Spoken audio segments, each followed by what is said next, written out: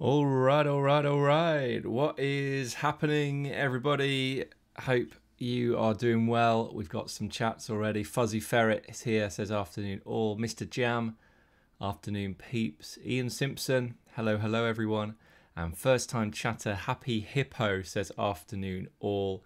Laco Mr. E, afternoon. And Walk666 says afternoon all as well.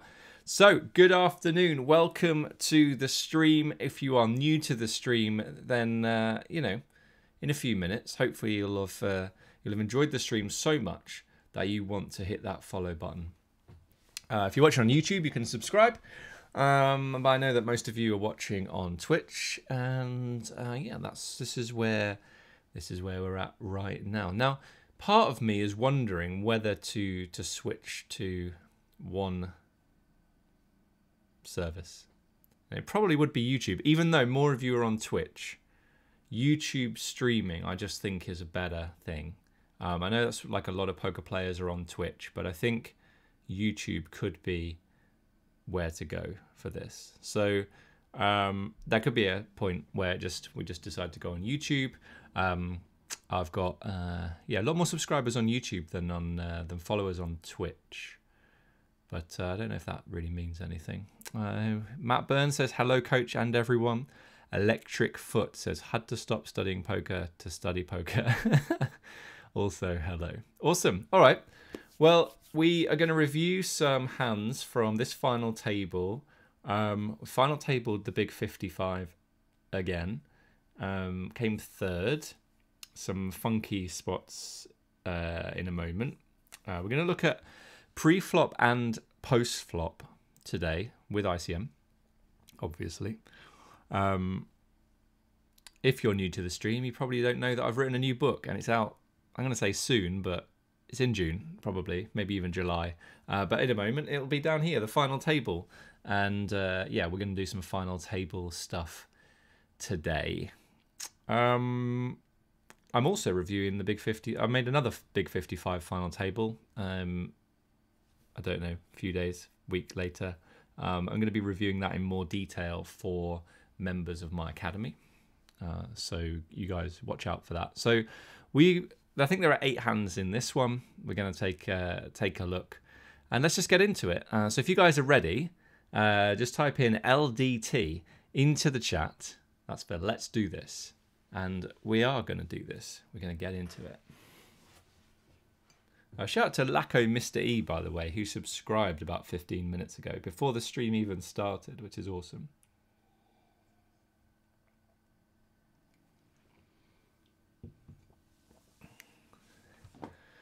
Right, so uh, here's the first spot. We're five-handed. We are currently three of five. Uh, Luck be a lady. Shout out to Luck be a lady. Haven't seen you in these streets for a while. Hope you're doing well uh, who said LFD TRN, which uh, I really like.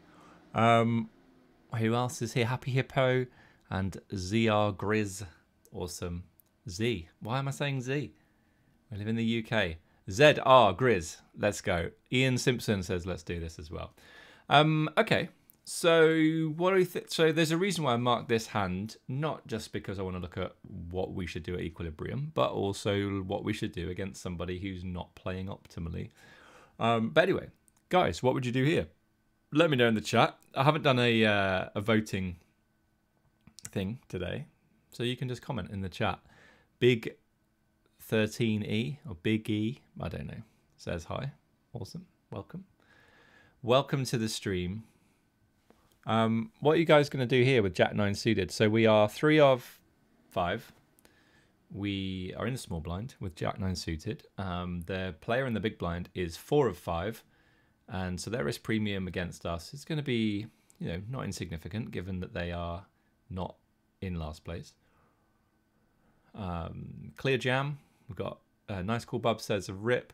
Happy Hippo says raise. Okay, what size are you raising to? Like 2.5, 3x, 2.75x? Is that what you're doing? Are you going to call a jam? Uh, is jamming going to be better? What about limp? You know, all of these kind of funky, funky things. Um, I'll show you what I did in game. I, I jammed and, and he folded. So yeah, it's a really exciting hand. Um, Uh, no, but it is because we're gonna we're gonna talk about the um, the solution. So uh, here we go. Jack nine suited. Uh, let's first of all have a look at the bubble factors. So big blind against us. I mean, look at that, ten point four percent. I said it was not going to be insignificant. I mean, that is pretty big. Um, I was chatting to someone earlier on in my in our Discord, and um, yeah, uh, we were talking about sort of you know four or five percent changing things, but ten percent is going to change things a lot. So we probably get to be very very aggressive here, and the big blind then has to call very tight, which is just awesome uh, for uh, for us. Have a look, two and a half or jam. If you raise two and a half, but I would, I'd raise two and a half. But I would raise first in other part of range. Okay, so what are you doing with this hand? Just just jamming. Yeah. Okay. Cool. Um, so let's have a look at our strategy. And as you can see, just uh, if you never used HRC before or you don't know what the colors mean, because not everyone has these colors, um, white is fold, green is call or limp, the pinky color is raise to 3x, and the purple color is to jam. And you can see we just, yeah, we just jam, jam a lot of hands. Um, we don't limp very much, so we just want to apply a ton of pressure straight away, which is which is really nice to see. Uh, but when we do jam, our opponent gets to call all of these hands.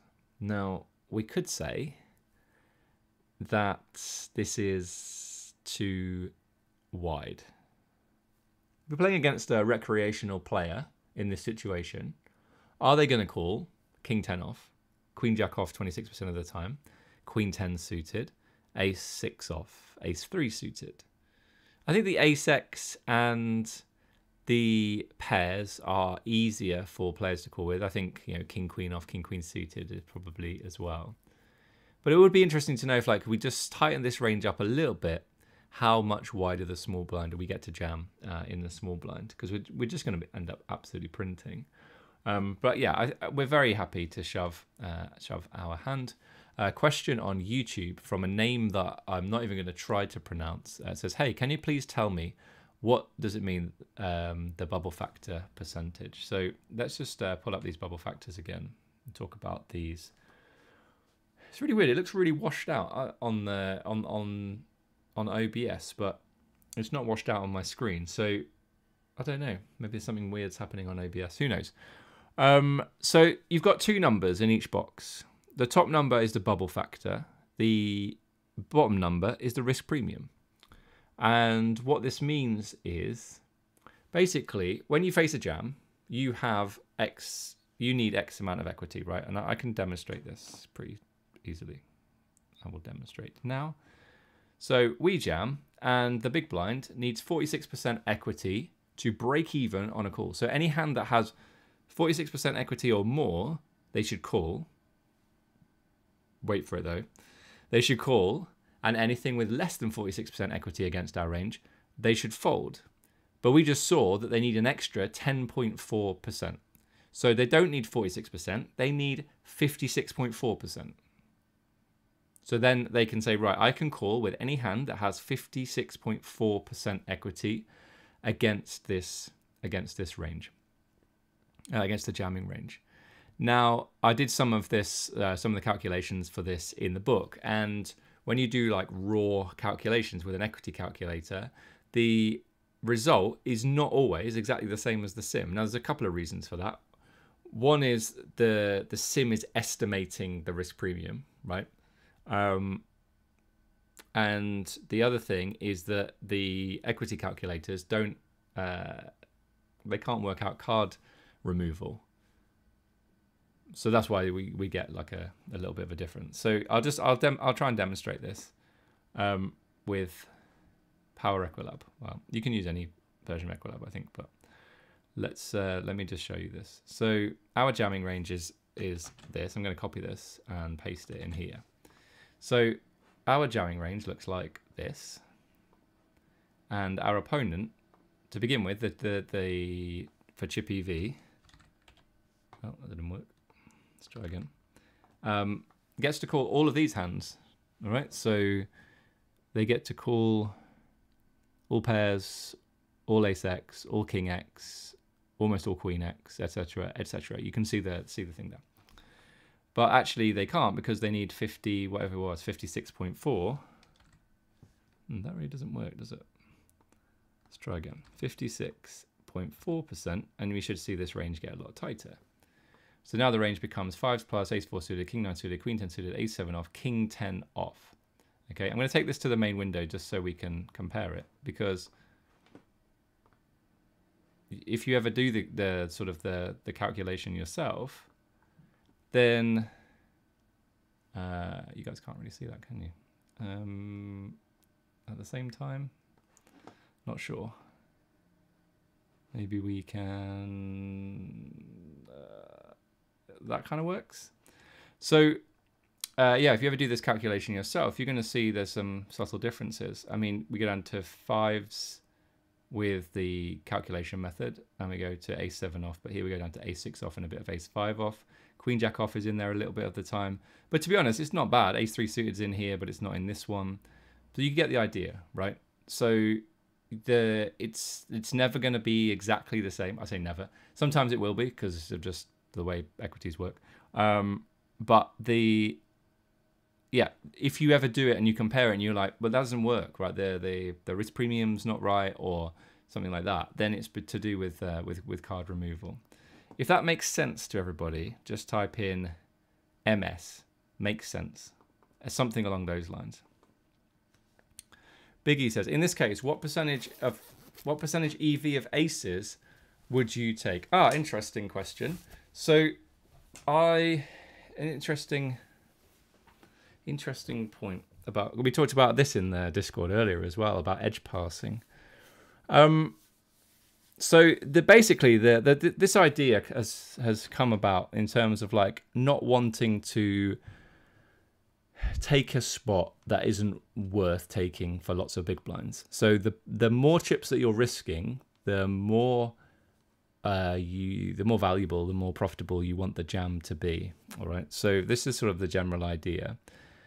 I kind of in my head, and there's no there's no right answer to this. It's just about what you believe, right? And I've heard th- various numbers thrown about. I like to use like, okay, if we're going to have, if we're going to risk 15 big blinds, then we we could potentially ha- look for the value that is seven and a half percent. So we've halved it, seven and a half percent of the value of aces. For example, that's just a like this is what I like to use, but there's no no one telling you that that is the way to do it. In a soft tournament, you don't want to be uh, taking thin edges. In a really tough tournament, you probably got to take all the edges. Okay, so if we looked at like this, um, the value of aces here for jamming aces, not for raising, because you can see raising is going to be way better than jamming here.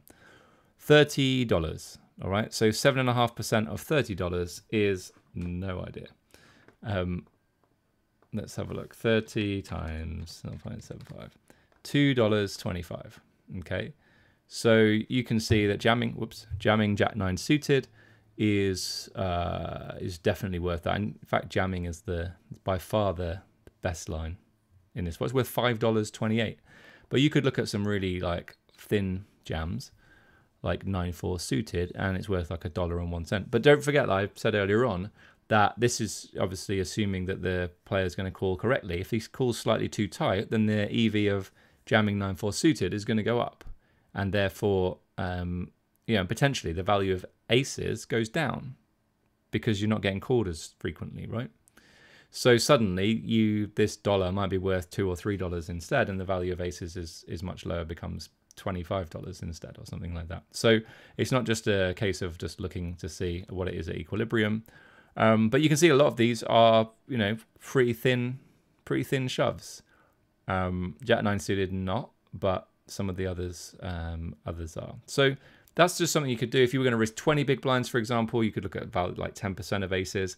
Like I said, though, there's I've not seen anybody say, this is why we do it. This is why we use these thresholds.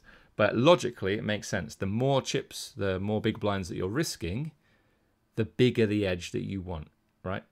Of course, that makes sense. So if you risk 100 big blinds on a 5 bet jam, you want. I mean, that's probably then going to get silly, but um, you, you're not going to get 50% of the value of aces, right? Um, there aren't going to be too many hands that, that, that have that, I don't think. But I've never actually seen it. So, hmm, interesting. Anyway, um, we might not do any node locking on this today, but I think we've got a pretty good uh, discussion. We've got loads more hands to look at, so that's why I'm keen not to, to do that. Anyway, so that was five-handed, and then all the rest of these hands are three-handed.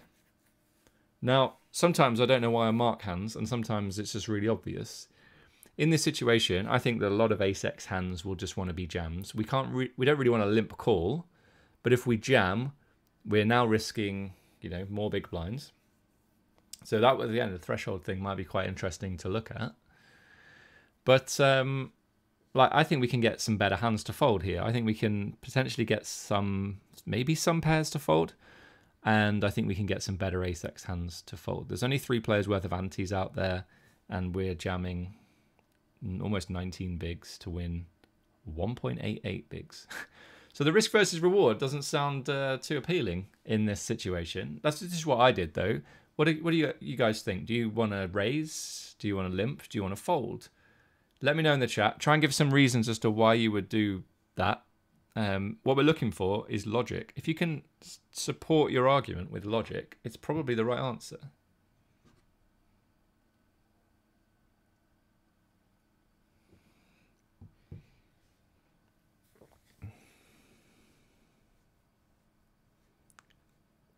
Um, so Biggie says, no, I mean big blind, Gareth. Oh, I don't know what I said. Big blind is four or five, yeah. Um, Biggie says clear rip. So try and give a reason why you think it's a clear rip, Biggie. That goes for everyone else as well. Get your thoughts in as to what you would do. And disagreeing with me is absolutely fine, by the way. That's uh, I, I'm I don't know what the answer is. Um, so if you've got a better answer in this situation, then uh, then maybe we can uh, maybe we can explore it. I'm going to lean back a little bit. Hopefully, you guys can still hear me. Uh, the sound looks looks okay. I'll try and keep keep the voice up. Lucky Mystery. I think Ace 3 off has good removal to big blind strong hands and plays poorly out of position. So Jam feels best to realise equity. Uh, Balalaka says limp and then jam to a raise. Okay. So we've got some other ideas. Um, we've got a question mark at the end there as well. Give me some logical reasons why limping and then jamming over arrays would be better than jamming in the first place. I think that'd be good to, to look at. I mentioned right at the start of this stream about the new book. It's down here. If you want to pre-order it, you can do from DNB's website. Um, it says, I think it says on Amazon, it's currently unavailable, which is true because it's not out yet. Um, so you, you can't order it on Amazon, but you can pre-order it from DNB. What else? Uh, so, hmm, Big E says EV of Rip is better than Race First In, better than Limp. Okay. But there's not there's no logic. That's not logic. That's just your opinion. You might be right. That Rip is better than raising than better than limping. Jandro says Limp Jam is better if he overbluffs, but since you don't have much ICM pressure, he shouldn't be doing it. Okay, that's cool. Phil Mitbart says, would jam it. I'm pretty bad out of position, so I don't like raising. Limp jam is okay, but I prefer jam. So th the idea with like limping, if you limp jam, think of the logic behind that. Do you does he raise and then fold a hand that's better than ace three off? So does he look down at like ace seven, raise it, or ace eight off, raise it, and then you jam, and he goes, I'm going to fold. I think that is unlikely. So it's kind of an awkward, awkward hand. Whereas when we jam, does he look down at ace four, ace five, ace six, ace seven, and call? Does he look down at twos and threes and call? Uh, Lanting says, with limp jam, you get EV from their trash that raises versus limp but can realize equity versus ace three off. Okay, so that's a good argument that we. It's not just about getting better hands to fold. Very often it is when you look at um, ICM sims. Uh, when you're when you're jamming, when you're not jamming for value, when you're jamming sort of quote unquote as a bluff. So, but you do deny, you know, like a hand like I don't know, seven six suited. It, that's not going to raise. Bad example. Seven two suited. It's got some equity against you and gets to play the whole hand in position, and you ace three off doesn't really flop flop that well? Uh, but also when we limp and it goes check check, or sorry limp check, check he checks back. Then he's got all those suited hands like seven six suited. So the uh, yeah he's got reasonable equity in, in that node. Um, limp jamming if opposition is aggressive, ISO jamming if tight. Uh, we haven't a high risk premium, so big blind does not ISO too wide. Does anybody want to guess what our risk premium is against the big blind?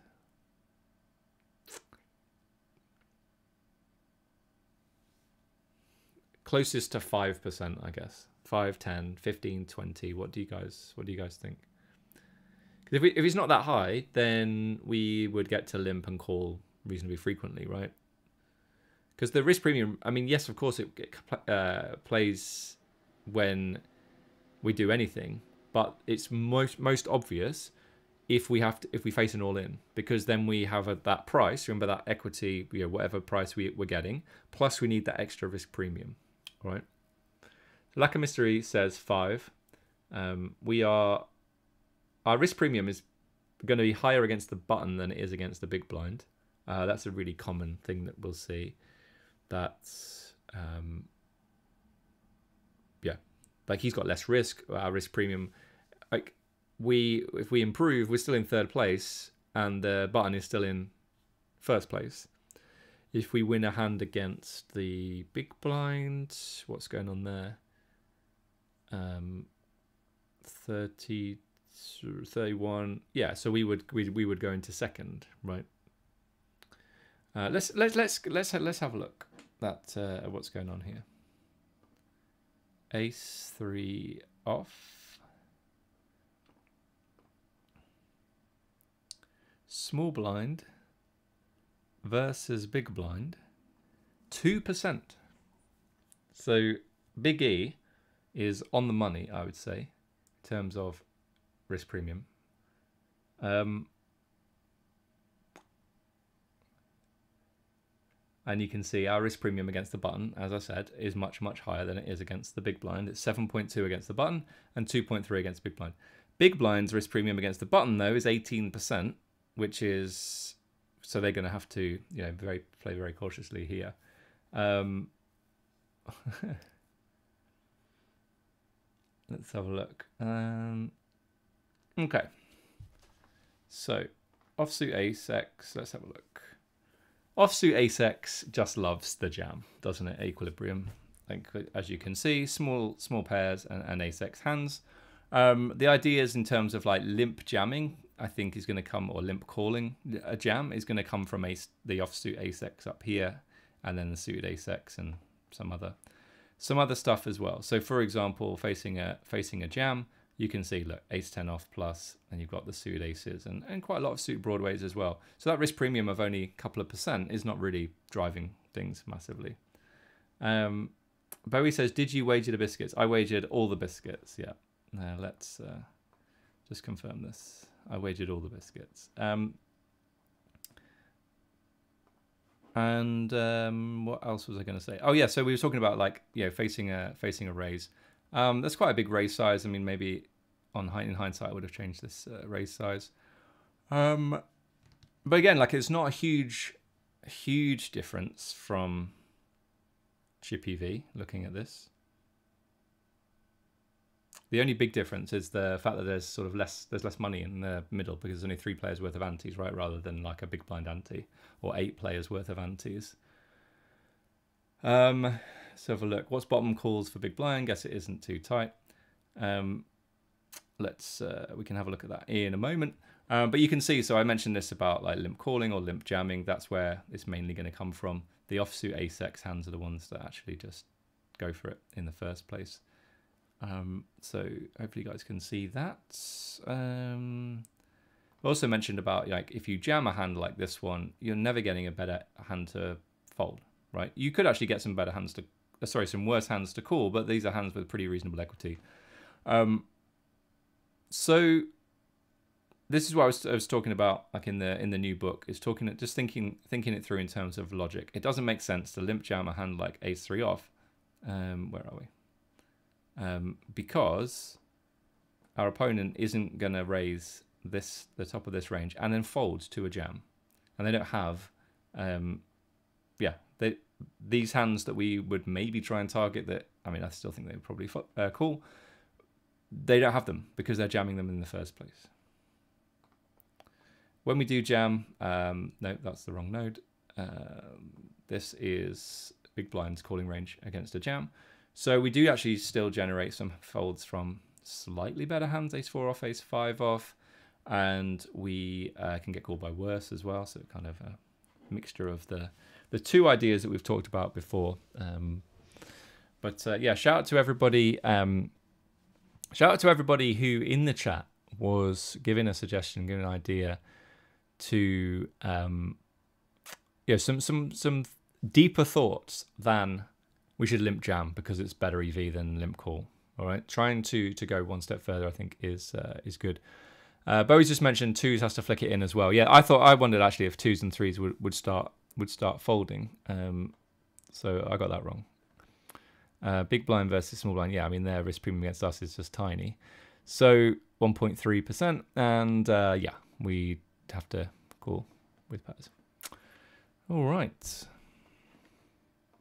So we get that one through. Um, okay, so not sure what happened in the meantime, but now we only have 10 bigs and small blind calls. Um,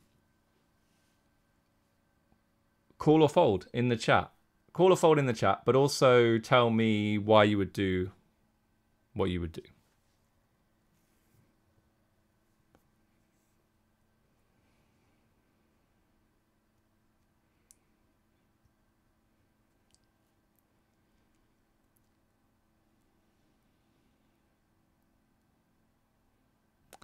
So on YouTube, um, we've got Call. We're in chip EV now.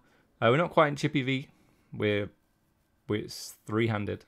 So chip, we'd be, we would be a chip EV if it was heads up, right? But uh, this is final three. But we are, I mean, to be honest, you could be right that it's close because we literally have 10 bigs. And I mean, the thing is, though, calling and doubling up doesn't really improve things significantly. I'm not trying to tell you one way or the other. Um, Bowie says I call fairly trivially, and I think I think this is one of those hands where if you've done some ICM final table study for like 10 bigs blind versus blind, you are going to know the answer. And I always think this, I was watching um, Only Connect. I feel like middle age is coming at me fast, by the way. Um, watching Only Connect, the thing with any kind of quiz is that if you know the answer, it's easy. It's like a test at school if you've got absolutely no idea, this is where you know you you need to to do some to do some study. So I think if you've studied this spot, you will know the answer. If you've not studied this spot, you might think, oh, well, I've got king seven, but you know I'm not really sure what to do uh, in in this situation. Um, Biggie says interesting hand, but I don't know chip leader jamming range versus three of three.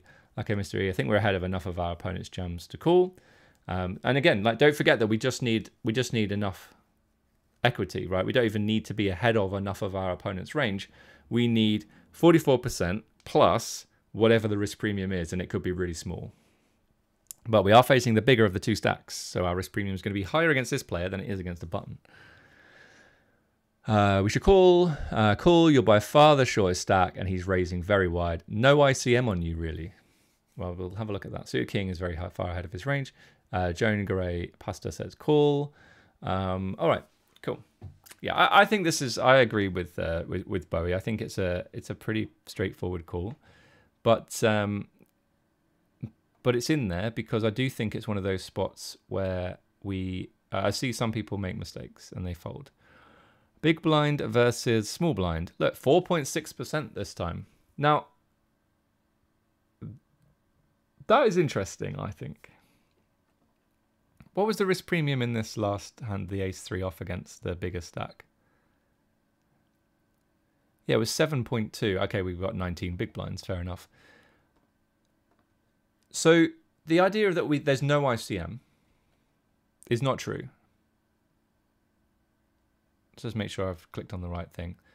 So our risk premium, that's definitely ICM because we've got there's a 4.6% risk premium. So we need whatever that price was, as I mentioned before, 44% plus 4.6. So we need 48.6% against his range. So again, we don't need to be ahead of enough of his range. We need to have 48.6% equity to uh, to call here, right? And that's uh, that's essentially essentially it. But I do think it's a, a common misconception that there's no ICM at this point because you can see like this number is not zero, right? What on earth happened there? That was weird. Um, we've still got the sim. That was so weird. I've never seen it do that before.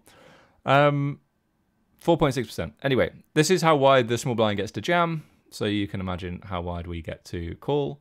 And uh, yeah, we should be calling King Deuce suited, and King 5 off, and all pairs, and Queen 8 off, etc., etc.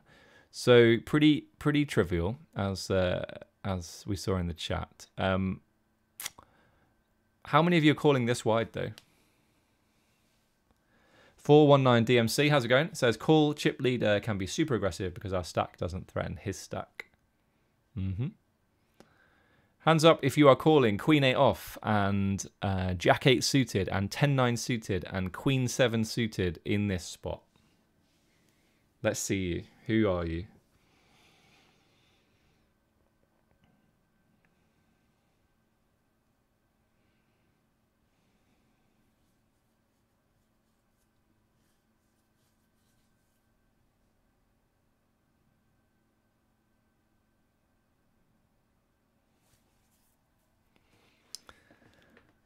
Do you guys think about that? Let's. Um, Lanting says not brave enough. Not brave enough. I mean, let's have a look at the EV of a call. Fifty-seven cents. One dollar twelve. One dollar ninety-five. I mean, I should, probably shouldn't do it in uh, dollar terms because no one's looking down at this and going, "Ooh, yeah, fifty-seven cents. I'll make that call." Um, Pretty good with the suited stuff. I get nitty with the offsuit hands. I think that's fair enough. Not sure I'm finding the calls with Queen 8 suited. Uh, I'd have thrown up with Queen 8 off, called Queen 9 off reluctantly. I think that's uh, some nice honesty from everyone in the chat. Right, let's uh, let's let's let's keep the momentum going. Uh, we call, uh, but we don't care about results. But there are more hands, so we must have uh, we must have won. Um, okay, so some interesting situations. My the reason why I marked this one is I want to know where's the line for min raising versus jamming?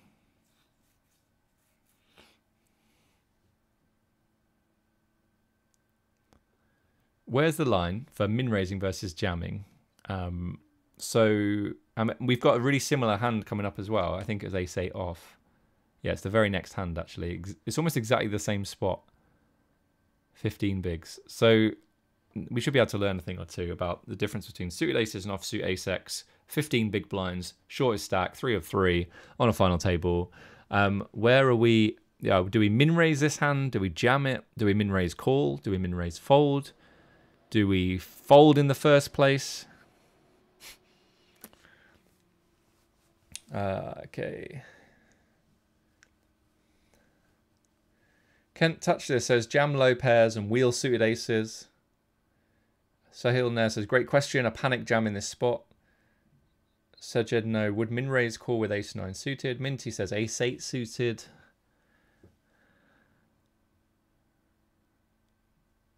Gets closer into two thirds of a big blind instead of one third. Ace 7 suited. Weird. Uh, ace 7 suited should be a raise first in to call a jam and ace 8 off a jam. Walk says min raise call. Well, you guys just love the min raise induce, right? Hmm, this is uh, it's going to be an interesting one. Um, don't forget that we like for anyone who's still believing that there's no risk premium, there's no ICM here when we min raise and get jammed on.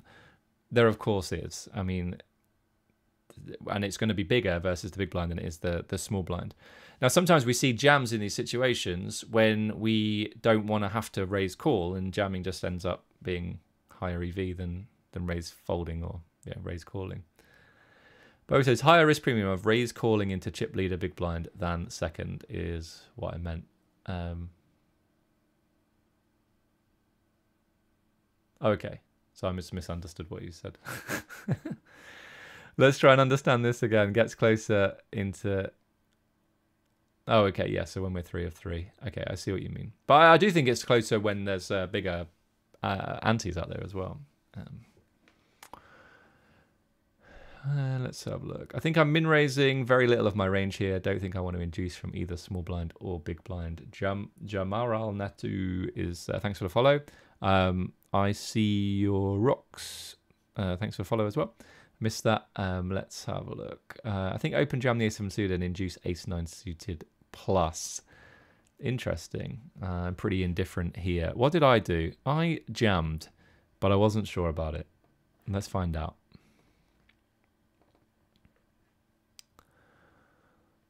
Oh, look at this. Bowie on the money, indifferent. Let's go.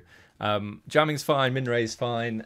We did some stuff actually a couple of weeks ago where we adjusted calling ranges and responses to min raises and things like that. We're not going to do that today.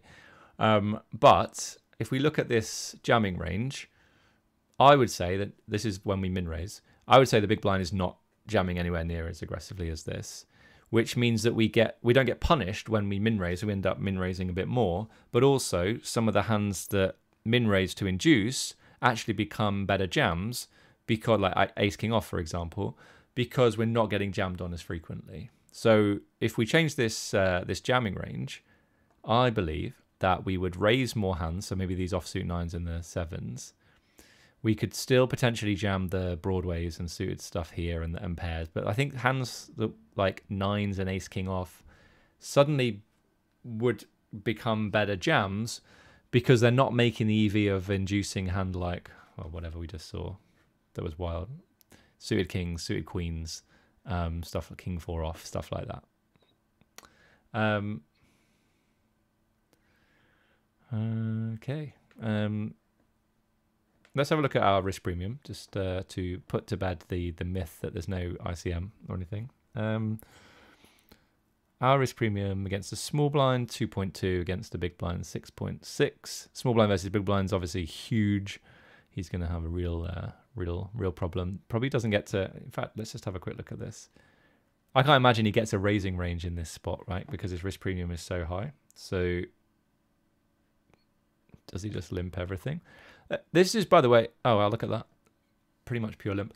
Um, this is something that I really encourage you to do as well, guys. When you're running your own sims, it's very easy to go, right, I jammed day 7 suited. I mean, sometimes I, I know when I first started studying this kind of stuff, I would jam, you get called by fours or whatever, and you lose, and you're like, oh, I don't know if I made the right decision. Maybe I could min raise fold. I'm not sure what I should do, guys.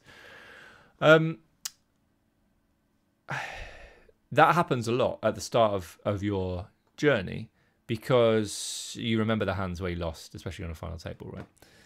But we want to get you to a point where you're actually thinking thinking things through a bit further than that, and not just worrying about you know busting, but also going, oh, we've run this whole sim. It's taken several hours or a day to run.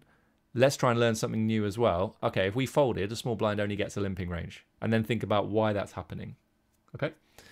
So that's really really important. Um, who some of the some of some of you rufflers wanted to uh, raise call ace seven suited, and you would be correct.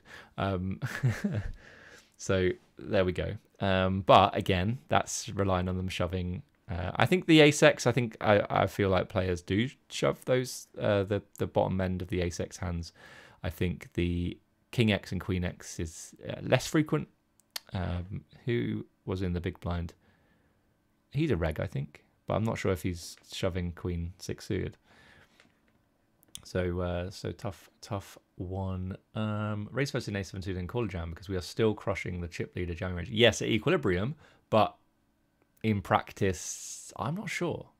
Which is why I think that we actually should raise more frequently and fold, and still and then jam a little bit stronger. That would be my adjustment. Um,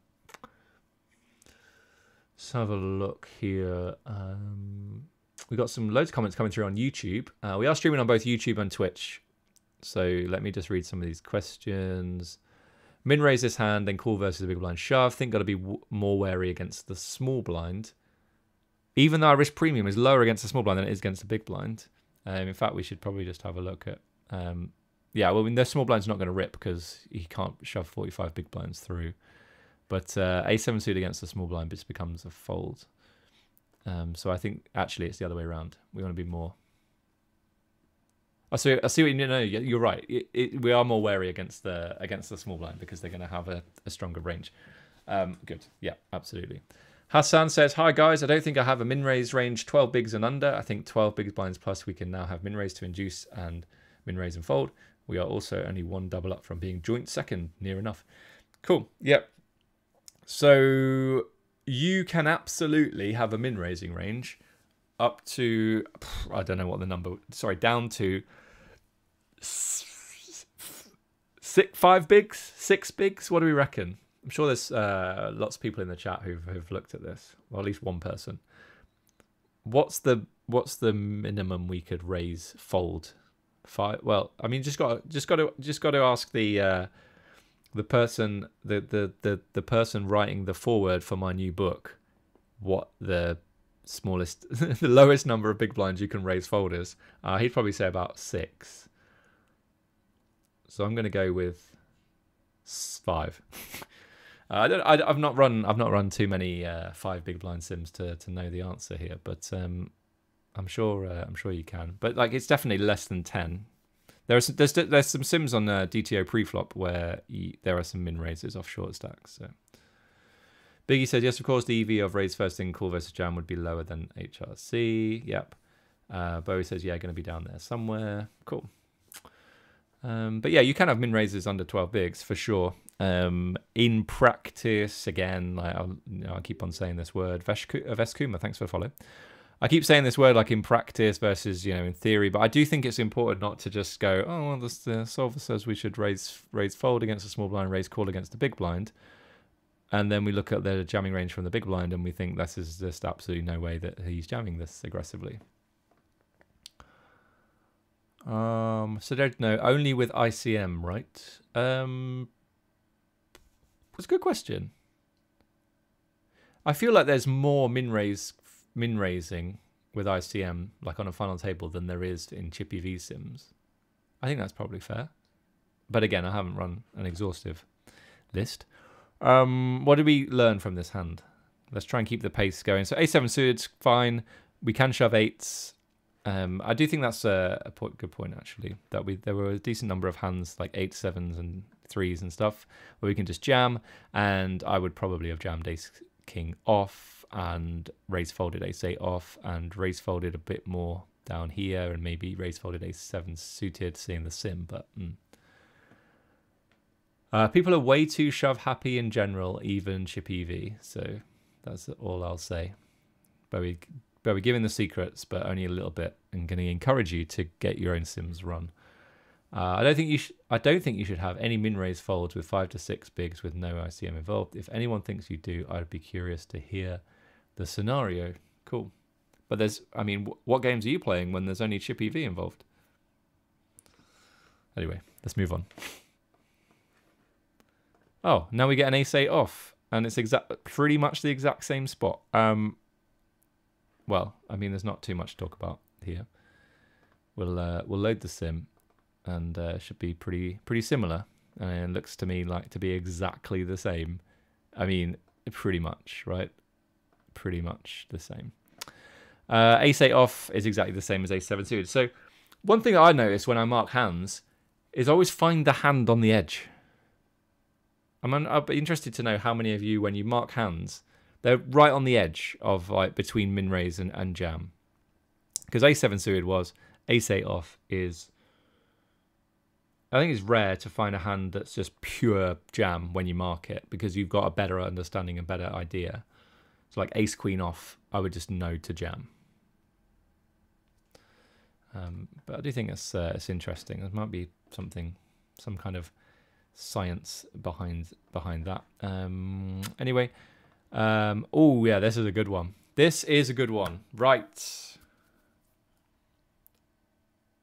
I don't know whether to show you what I did first or to hear your thoughts. We have a few more big blinds now. We've actually got 19 big blinds. Raise call, raise fold, jam, or fold. I think those are the four options. I'm not getting into limping today.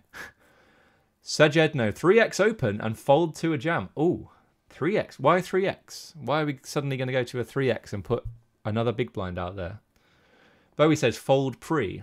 WWWRR says raise fold. Chris Callahan says raise fold. Good to see Chris. Uh, Biggie says fold in my opinion or raise fold. Um, Min raise fold from Kent touched this on YouTube. Uh, maybe if the big blind is tighter, raise first in fold. I tend to fold 419 DMC. Probably fold ace 2 off and sometimes fold ace 3 off, but min raise this hand. Okay. Alex Blaine, how's it going, Alex? Uh, says raise fold. Right, let's um, let's take a look at the sim, and then I'll and then I'll tell you what I did because uh, we'll see how close I am. Um, hmm. Ace four off, pure fold. Ace seven off, pure fold. Ace six off, pure fold. So everyone that said fold in this situation, congrats to you. You are you are the best players. You probably don't need my new book, um, Ace Ace, um, because you know what to do with Ace four off. Um, let's have a let's have a quick look at what's going on here. Um, our risk premium now against the big blind is is starting to creep up there, isn't it? Eight percent. So if we raise too much in this situation and we face a three bet, we're going to have to fold quite frequently.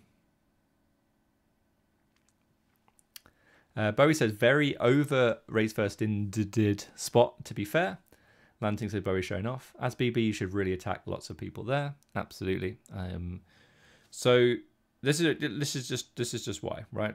Um, so facing facing the jam, we even in a really tight range, we're still folding uh, folding quite a lot. We're folding two thirds of our range. You can see 14.2 versus 7.1. We're only opening 21.2% of hands in the first place, right? So yeah, we got to be really careful with uh, with opening. Um, let's see what I did. Oh, oh, okay. So yeah, I was fairly confident that this is going to be a fold. Um, very happy to see that the sim agrees. Um, having said all of that, we have just said, do we think the big blind is going crazy? And this this is the jamming range against a 21% polarized opening range. All right, just uh, if, if you're unfamiliar with the terms like polarized and condensed, then the polarized range is the hand is the basically the range in red, so hands in red, and the condensed range is the hands in purple. Um, and the general idea is that you would, I'll show you on this one, you would raise call the hands in green and you would raise fold the hands in white. And these hands in grey you've already jammed to begin with. Um, why ace 10 call but ace jack fold? Uh, Ace Jack off doesn't fold. It just jammed pre, I think. Yeah, it's 100% a jam pre. It's not a fold. It's not a fold because you've already jammed it. Uh, Ian says, Gaz, totally put this one in to brag. Um, look, uh, you know, I've got a book coming out soon. I need to know, I need to show you that I know what I'm talking about when it comes to final table stuff, okay? Um, uh, okay, right. Although to be honest, I'm sure there've been some some hands. Did we see any hands? We've not seen any hands where I've, where I've made a mistake yet. But um, oh, the A7 suited, maybe a mistake against the. No, I don't know. Maybe it's against mistake against players that are not uh, three betting aggressively enough. Could be. Ken Touches says risk premium higher than I thought. Clearly, yeah. So the again the risk premium is always going to be higher against the person with the most chips. That's a really common thing that you will see. Um, so just watch out for uh, for that. So you need to be aware of that. And when you're opening here, you are just going to get punished. So, all right, time. I just said you haven't made any mistakes on this final table. Pre-flop, I think we're pretty good. I'm not, you know, and modest. No, pre-flop, I think we're we're doing all right. Post-flop, if you've got kids in the room, please cover their ears post flop might be a bit of a shit show. Um, let's see what happens here. So limp, check back. I think that's fine. Bet, call, seems fine. I don't think we get to raise this hand. Uh, actually, interestingly, I, I was kind of surprised to see this guy limp. So I don't think he's going to have too many limps here. Um, Laco Misty says, I feel very tricked with the only I only mark hands that are right on the edge comment. Well, there's the idea of the right on the edge, right? So like offsuit ace-x. I knew that the offsuit ace-x were going to be uh, going to be folds.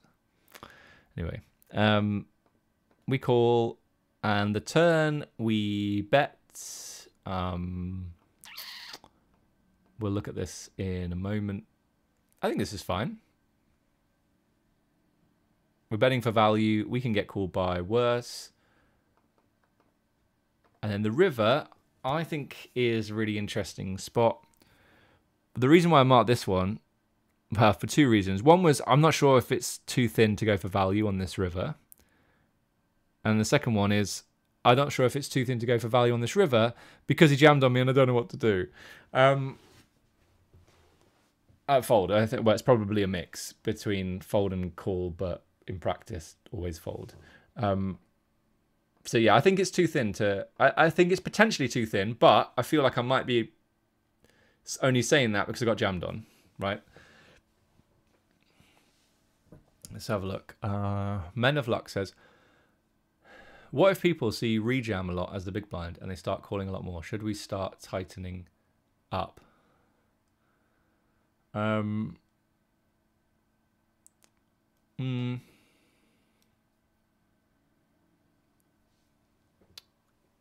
I mean, it's a get. I, I guess if they start raise calling like hands that are really poor, then I guess so. Yeah. Uh, Ian says, I've got to go. Thank you very much as always, guys. You're welcome. Good to see you later, everyone. Fuzzy says, bye, Ian. Good luck. Good luck on the grind. Uh, check out Ian Simpson's uh, live stream if you haven't already. He's streaming later on. Bowie says, lol, WTF does this guy have? My guess is um, ace three. Nah, he would just jam that pre. Uh, six three of spades. it's very check call two big blinds check jam. Limp pre one big blind. Should a five lead on the turn after check call? He didn't check call flop. He bet flop, and I called. Let's just go through. Let's just rewind the hand. He limps, which is I don't think he's going to do much limping in the sim. He bets. We call. He checks. He check calls the turn, and then check jams the river. My only guess is that he's checked a hand like 10-5 or 5 deuce. Yeah. Team 6-3 of spades or 10-5, yeah. Yeah. I think so. Um, he could have a 5, but I think a lot of fives will just continue. Um, I folded, and um, that was a very sad hand, really. Um, Let's see if 10-8 is too thin to bet. ICM is a conspiracy. Oh, you're in the wrong stream. you're in the wrong stream. You, this is not the stream for you. Um, Dino Mopins, ace three suited. Could be. Be interesting to see what um, all those hands do pre-flop. Um, let's get into it. I have run this for pre and and post. Um, what did we have? 10-8 off. So the the annoying thing, something that I think you know, players can understand is that risk premiums pre-flop, right? I think it's harder to sort of think about it post-flop and still and and recognize that it's still a thing, and that's why I think that the 10-8 is too thin to bet for value because we get to a point when we are having to overfold versus a jam. Not that he's probably going to exploit that, but we, yeah, it's just awkward. Um, just some fantasy Fantasyland nonsense. Um, so Hill now says independent conspiracy model. uh, okay, so eight point five percent. Let's um, let's see what's going on here. So bearing in mind, average premium against him is eight point whatever percent. Um, he does a bit of limping. This is, uh, I mean, all right. Let's see. 10 8 off. Oh, some jamming. You can actually jam and uh, generate folds from lots of better hands. Uh, okay, fair enough. Uh, but checking looks to be fine as well. Jamming some offsuit ace-x and some pairs and some suited aces and a bit of stuff down here that doesn't interact with um, this because he's folded all of these hands to begin with, and so we can get lots of better hands to fold. Um, okay, let's look at the. Is that in here? Oh, it's already loaded. okay, so this is what our sim looks like. Hopefully, you guys can see this. Okay. 10 it off, always going to call. There's not too much raising, but it's nice to see the best 10x go for a raise. We don't have ace 10 because we would have raised or jammed pre. Um, we can bit raise a bit of 10 5 and 5 deuce and some other stuff as well. Uh, 5 of hearts. 5 of hearts. He checks. And our hand is a mix. We can bet 10 9 a lot more frequently. This is actually really interesting because King 10 off now checks, Queen 10 off checks, Jack 10 off checks, Jack 10 suited checks, Queen 10 suited checks most of the time. King 10 suited on the other hand just likes to uh, likes to bet. Okay. Hmm. 5x is obviously the most obvious bet in here. If I click on this one, you can see a lot of 5x. But yeah, 10-9, 10-8, there is some betting with those hands. We've got some spade bluffs as well. Um, okay. So Bowie with some uh, some good observations here, I think. It's very weirdly shaped because our value is so trips centric. The 10x betting region is protected by the 5x. Uh, and is more seeking equity denial. Yep. So yeah, going for the bet doesn't seem doesn't seem too bad. Um, not sure about this raise size. Um, but we'd have to continue versus a raise. But that's not what happened. Let's uh, let's see. Four of clubs. 45, 55. Okay. 10 8 off is just a check. So now we can bet our best 10x where the kicker is higher than the 10. And we've got to check the other 10x. Uh, and we get to jam all the 5x, which is obviously really cool. And we get to jam a 6-3, and we get to jam some other 3x hands as well. So you can see.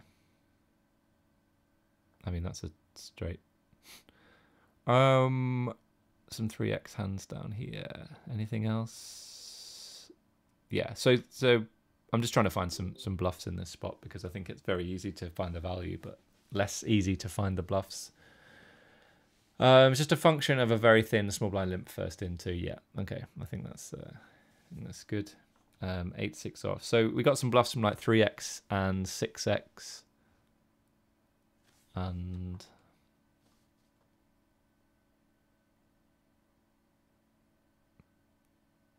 nine x, eight x.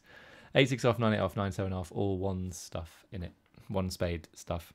Um, it is with the offsuit stuff, yeah, because we peel those on the flop, and uh, the suit stuff actually hand like the diamonds instead. But I guess it's basically the same thing, isn't it? It's three spades or three diamonds, kind of idea.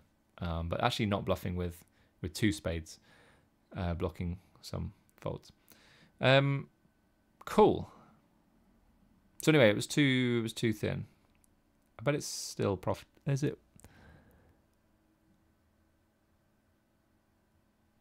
I mean, I'm gonna say it's still profitable, but it's if it, it it's not more profitable than checking, so it doesn't make sense. Um, what else was I going to say about this hand? Oh yeah, so oh well, the other thing is we bet half pot, and uh, that's not a sizing that's used. Um, so I want to have a look how this is constructed. So we've got, in fact, I'm going to use Range Explorer and look at this. Uh, so big bets are basically trips and better. That makes sense. I mean, polarized. The bigger the bigger you bet, the more polarized your range is.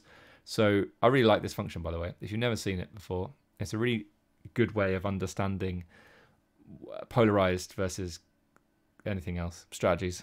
um, but you click on the biggest bet size, you can see trips plus bet. Nothing, none of these other hands is good enough to bet for value for that big, uh, which is how big? 1.7x pot.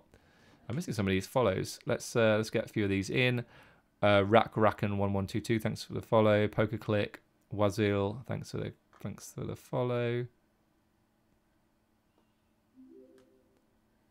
Uh, H Denry, thanks for the follow as well. All right. Um, and then we get some bluffs. So always like to look at these because I think again the value's easy, but here's here's the bluffs.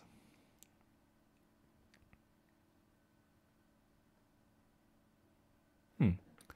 Um, so blocking some some calls, I guess.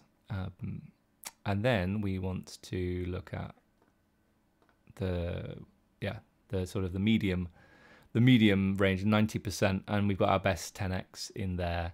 We've still got some trips hands that want to do this but maybe some of the, the weaker ones. And then we've got some full houses as well and quads a little bit of the time. So yeah but interesting yeah i mean my size is not ever used if we did, went slightly bigger um we don't call with any 10x, I don't think. Uh, in fact, some of our 5x is starting to be indifferent, which is pretty sick. uh, and smaller sizes, we, yeah, basically fold 10 9 off a lot. Um, okay, cool. Let's uh, let's move on. So just just too thin. I mean, we haven't really explored why it's too thin. I want to try and try and get this. So his when we go when we bet, we get called by some some weaker 10x. And some ace high is going to call, but we also get called by some better 10x, which I think is why it's too thin. And he can still have a five, a decent at a decent clip. Um, it's calling king high and queen high though. That seems a bit all right. Fair enough. Uh, but yeah, I, I think that's the idea that we're just going to get called or raised too frequently, or called by a better hand, raised and be put into a horrible spot, so we can just check back. What kind of hands did our opponent raise the river with? Well, we used the wrong bet size, so the problem here is that we're going to go down a node that doesn't exist. Pocket tens, 5x, and probably not too many bluffs. Um, well, there must be some. Third pair a four. And a tiny bit of this, but you can see like the number of combos is just, uh, just, just, not, just not a thing. So, yeah. They're going to have, yeah, they still got some really strong hands in this range. So. Fair enough. Um, yeah, so we just don't get enough value from weaker hands, basically, when we bet our hand. Is this Pio Sim chip EV? Nope, it's ICM. So HRC now has this amazing thing where you can uh, export the selected node to Pio, which is what I've done in this hand. And then in Pio, you can import the model uh, in here. And you can see I've got some in there already. And we're going to do another post flop sim in a moment. Um, okay. How are we doing? Uh, if you haven't done so already and you're watching on Twitch and you want to, hit the follow button. If you're watching on YouTube and you haven't done so already, hit the subscribe button. Think about leaving a comment or um, anything below. Uh, if you can do that when it's live, I'm not sure if you can, but maybe you're watching the replay on YouTube and you haven't subscribed yet. Well, hit the subscribe button and drop a comment down below. I'd love to hear your thoughts on what we're studying today. Um, these sessions I do every single Monday, four o'clock. It's a different kind of theme, like focus each week. So we do ICM, post flop, uh, sorry, ICM, post flop with Pio, uh, some GTO drills, and uh, I don't know. Oh, we did some HRC and some software stuff as well. Uh, Fuzzy Ferret says, drop a like on YouTube. Drop a like on YouTube. Right, um, where are we? See how we're doing. Oh, yeah. This is the last hand, guys. And I mentioned before Pre-flop, not bad. Post-flop, well, let's just have a look. Okay. Well, I didn't recognize this as a 2.1 big blind open. I don't think that's going to matter too much, but most of my sims I just sell up for min raising, so it might be slight, like a tiny bit different, but not too much. Um, always calling here. I think that's good. And are you ready for poor play 101? I almost like sometimes I'm like should I even show this hand? This seems really bad. Um, but like, we don't just want to do the hands that we played played well, right? We want to to discuss hands that we played poorly as well and see what what on earth is uh, is going on. Um, so I decided to uh, raise here. Um, have you ever played a hand? Have you ever reviewed a hand and gone, I don't know what I'm doing? Why did I do that? This is a good example of uh, of uh, of that idea. I like I looked at it when I was reviewing it. I thought, what what am I doing? And I'll tell you the, the the other thing is the button's range. The button is actually really really strong. Now, yes, okay, a two is probably going to be pretty reasonable. Um, like because we have a pair now, so uh, he might not have a pair. But I'll show you in a minute. I'm fairly confident the button's opening range here is going to be incredibly strong because we have a short stack and the small blind can just three bet jam or three bet so aggressively. The button's risk premium against the small blind is going to be huge. So I reckon the button can only open like 20% of hands. So here we are, check raising bottom pair into a fairly strong range that's going to include all the ace-x hands. Um, I don't know, guys. I don't know what was happening in this uh, in this hand. Um, so anyway, check, raise, call, and then you get to the turn. I'm like, right, well, what do we do now?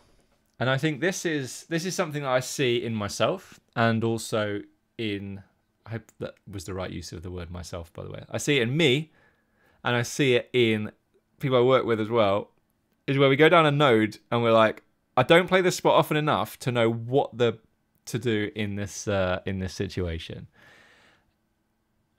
On reflection, I think jamming would be reasonable because we can deny equity to diamonds and club hands.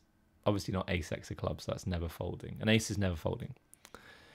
But I would it'd be interesting to know what you do with Queen Jack of clubs or King Queen of diamonds. I think those hands should actually fold. So I quite like jamming here now that we've got here, but I think flop is just a pretty straightforward check call. But there's some other ideas in the in the chat like jamming. Um, I checked and folded Oh, guys, what a absolute car crash of a hand. Um, let's uh, let's find out. Let's have a look here. Uh, okay. Oh yeah, we should look at the preflop sim as well. Um, whoa, fifteen percent. Stop it. Let me see this. Yeah, I mean, it's we always we knew it was going to be high with us only having 13 bigs and Button having 33. Have you have you ever seen a tight opening range here, as tight as this? I, I mean, there's a chance that Button is way overdoing this. Um, Bowie with some uh, some some choice language. Um, he thinks that check jam might exist. I mean, we'll, we'll have a look. Um, look how strong this range is, though. Do we want to check jam? Can't touch this said, is that an under the gun range? No, it's a button opening range in this particular spot. I'll just show you the spot again. So he's comfortably in second. He has a really high risk premium against the small blind. And he only gets to open 15% of hands.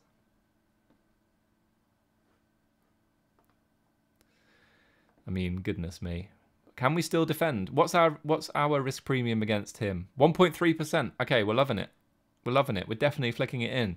Yes, we do get to fold some suited hands though, which is interesting. That's probably a function of a couple of things, a tight opening range and a tiny risk premium and, and this is more than a couple of things now, uh, only three players worth of antes. I think if you're playing with a big blind ante, you probably flick this in. Um, that's what I would say.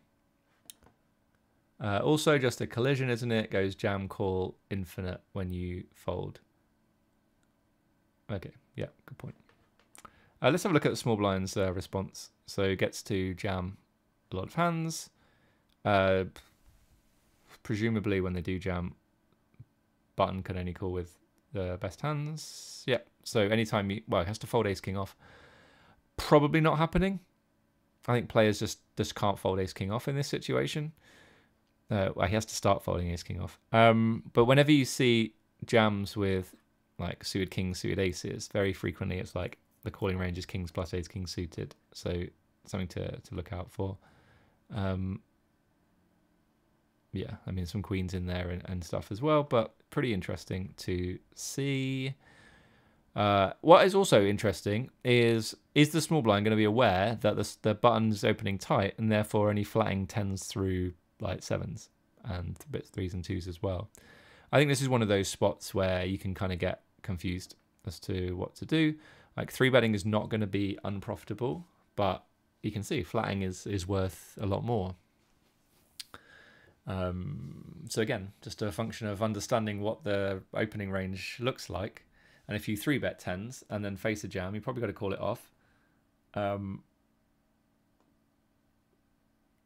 against that range, let's see. Is it profitable? Just, yeah, but you know it's not in there. So um, yeah, that is uh, that is really interesting. I'd really love just love exploring some of these. Just looking at the, like the induce range in this situation against a 15% opening range is jacks plus ace king. Right? Just jacks plus ace king, and then it makes it easy because you just call those hands when you when your opponent uh, opponent jams. But then we could you know go into another question is like, do you think they four bet jam these hands? If it's a recreational player, I, I don't expect them to in this situation open, face a three bet here, see us on 12 big blinds and go, oh yeah, I think ace five suited would be a nice hand to rip here. I think they just fold. I think they fold these hands, all of these hands down here. So all of a sudden, the value of calling with ace king off goes is going to go down. Um, but, you know, three bet fold ace king off at your peril. Um, what a degen range against a 15% opening range. Um, yeah, but it's just degen range you understand why it's doing that though, right? Because he opens 15% and can only call 2.2% against a jam.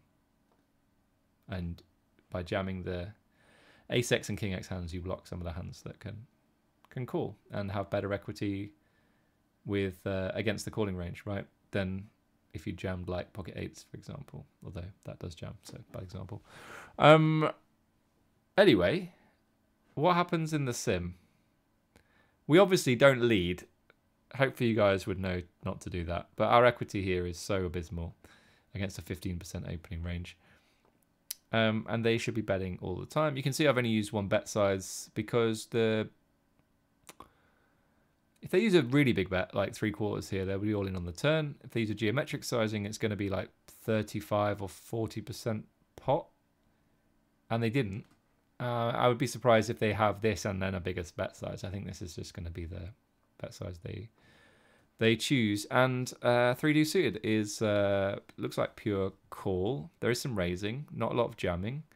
Um, what's the EV on a jam? EV on a jam is losing us money. We don't want to do that. Um, raising is profitable, but calling is better. What kind of hands are we let's have a look. Look at our raising range. That's not what I want to do. I want to do this. No, I want to do this. So interestingly, we do have sets. Some two pair to raise. We are we raise our best top pair and ace of clubs. I mean that makes sense. So it's just hands with a lot of equity. That's cool. You don't have any under pairs, second pairs, raising some 7x actually.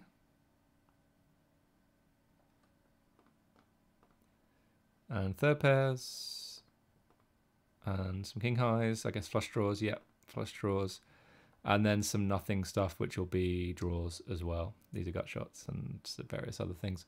Um, okay, so there is some raising. This is the geometric size, I think, like 3e.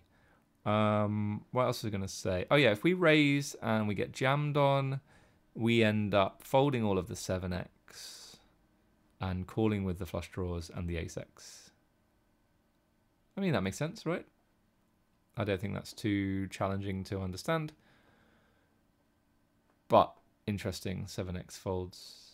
Uh, yeah. Oh, we can actually get eights to fold without a club and nines. Well, starting to anyway. Uh, and denying some equity as well. Um, let's carry on through.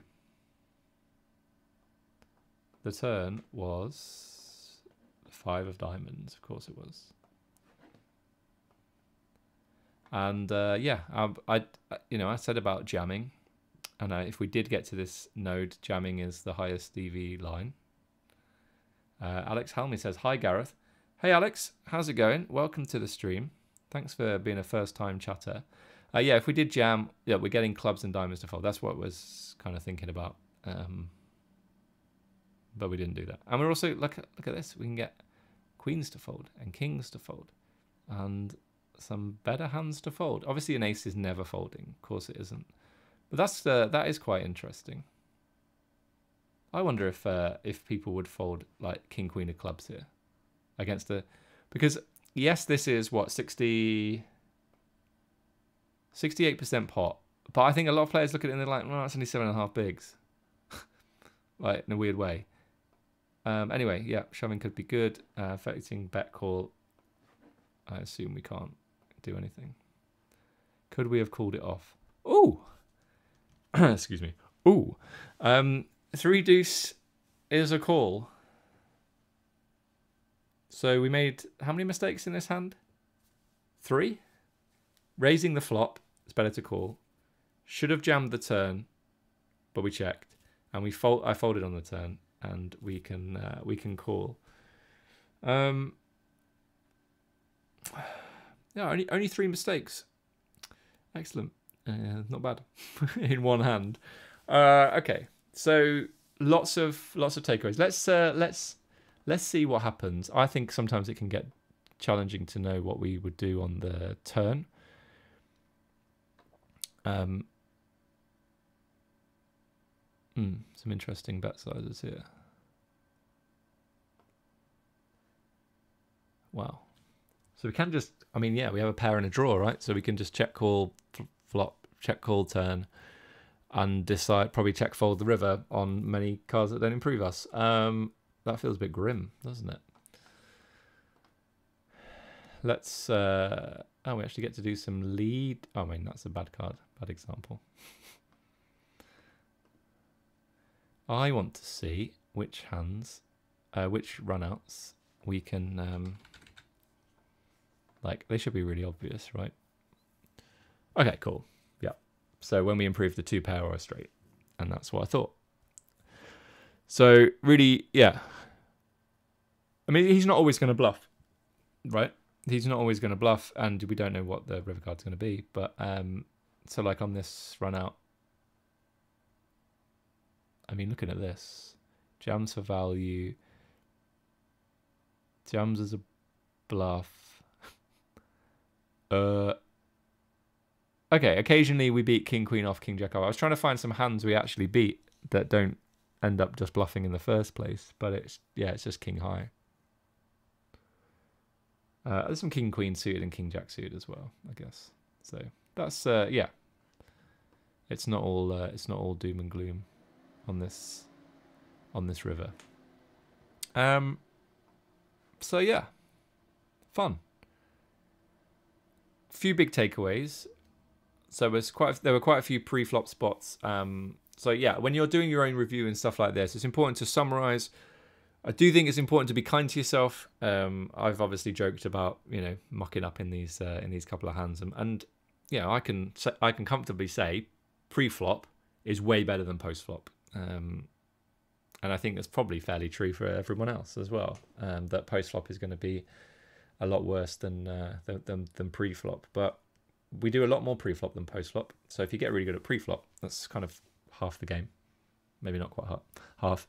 But uh, post-flop, yeah, we there's some there's some huge uh, edges to be gained, and I think that there were a couple of spots in here that I wanted to you know to improve on, and and that's why we do the study. And I don't want to just show you spots that I'm getting perfectly all the time. There's no benefit for that. Like I want to make this content for you guys but I also want to study myself. I don't just want to go, oh, well, here's some content and I'll teach you something. I want to use this. How long have we been on? An hour and twenty minutes. I want to use this time to to learn some stuff as well. So it's uh, yeah. Hopefully that makes that makes sense. If you haven't done so, um, hit that follow button if you're watching on Twitch. Um, subscribe on YouTube. Leave a like. Um, what else? Oh, I have a free Facebook group. If you would like to join my free Facebook group, then go to facebook.com forward slash groups forward slash poker profits. Uh, I'm going to actually post in uh, command FB group into the chat on Twitch, and there's the link to join my Facebook group. There are some questions to answer. If you don't answer the questions, I don't know anything about you. I'm probably not going to let you into the group. There's over 4,500 members in the group learning about MTTs. And so, yeah, answer the questions. Like I said, if you don't answer the questions and you're wondering why you haven't been let into the group, then you know the answer. Okay. Biggie says, Thank you, Gareth. See you soon. Great content as always. Appreciate that. Um, thank you for the comments. And uh, yeah, I think that's going to be it. Shout out to you guys for being here. You turned up, you got it done, and we learned a lot together. Um, I will. I will see you next Wednesday. Next Wednesday. I will see you next week. But I'm playing live poker this weekend for the first time since August and I'm going abroad for it. So if there's no stream, I didn't make it back. um, but yeah, so I um, uh, it should still be on next week. I don't know what the topic is, can't remember, but it won't be ICM final table stuff. It'll be something else. And uh, but yeah, I'll be back uh, next Monday, four o'clock. All of these streams and replays are available on YouTube. Just go to the live button and you'll see all the previous live streams. And uh, that's it. Lanty says, Aye, nice one, lad. Jesse Will says, But I just got here. Jesse, you got to turn up on time. It's four o'clock we start. 419 DMC, it's a great session, Gareth. Thank you. Uh, Lanty said, Live Poker Tell Workshop. I mean, yeah, my. Uh, well, we'll see. We'll see. Um, I'm going to bring back a trophy, though. Bring back a trophy, and on Monday, I'm going to show the trophy, and that's what we're going to be looking at. We're going to spend an hour and 20 minutes looking at this trophy. Um, all right. Cheers, guys. Take care. See